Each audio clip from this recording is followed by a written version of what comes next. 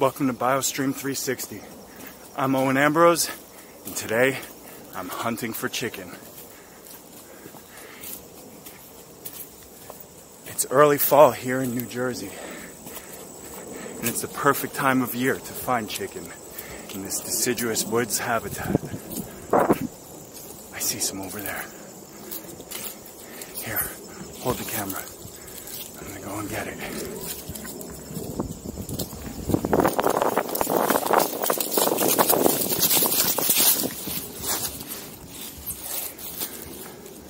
See it right around this tree. Ready? Let's go. Ah, there it is. Chicken of the woods. Now, I'm sure you were thinking I'd be hunting the animal chicken. And unfortunately, here in New Jersey, we don't really have that many wild chicken animal birds. But what we do have is a highly sought after edible mushroom called chicken of the woods, Laetiporus sulphureus. And today's lesson is going to focus on some things about that fungus. Before we get into the lesson, let's take a look at what I have.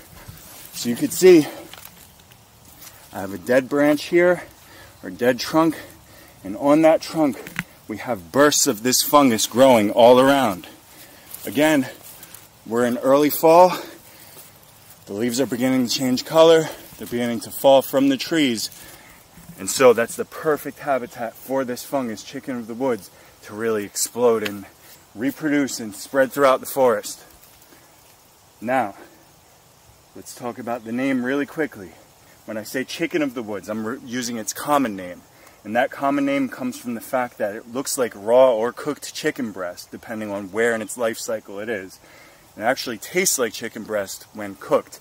So I'm actually going to bring some of this home with me and go through a little cooking uh, experiment with it.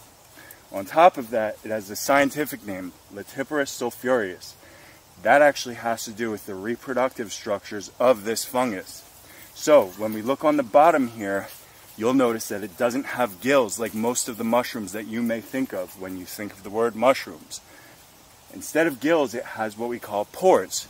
So this is a polypore mushroom. On the bottom, it has many pores, and those pores release spores, and those spores go on to make mores, mushrooms. So, polypore laetiporus sulphureus. When I say laetiporus, I'm saying it has a lattice of those reproductive pores. Now, I'll do some close-up shots when we go home, but you'll see what I mean when I say lattice of pores. The sulfurous part comes from the fact that it has that sulfuric greenish color to it. And depending again on its stage in the life cycle, it could be more green, yellowish all over, or more orangish or more washed out. This specimen is just about prime. It's a little bit washed out on the top, but that's because we've had a lot of rain lately. So this should be really good to eat. But I have a question. If I'm going to eat this mushroom, does it mean that I become a mushroom? Now, we've all heard the saying, you are what you eat, and if I eat it, that should mean I do become it. Now, of course not. We know I'm not a mushroom person, just as you're not a whatever you just ate person. But here's the thing we have to think a little bit further. This organism spends its entire life growing only on decaying wood. The fungus the adult fungus at some other place from another specimen released its spores.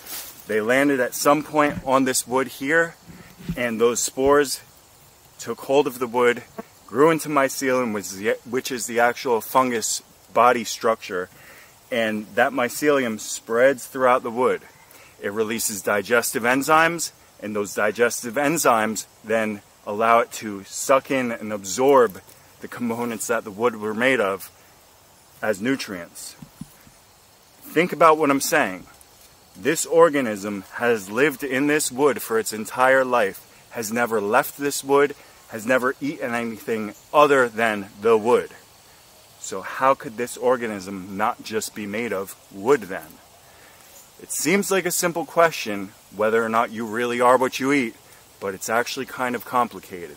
And that's where this biostream is going. I'm going to take some of this chicken of the woods home. I'm going to eat some, And on top of that, we are going to see if the chicken of the woods really is what it eats.